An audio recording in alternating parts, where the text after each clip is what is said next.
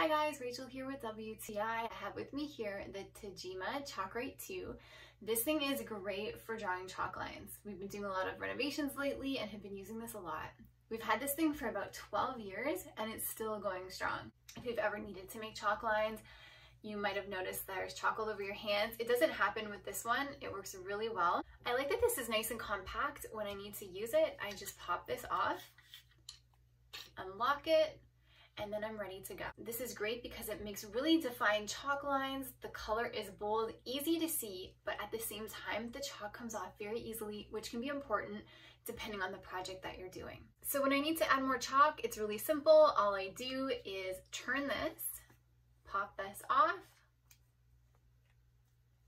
and then you can see the chalk goes in easily. It holds 1.6 ounces of chalk, so I won't need to refill it for a long time.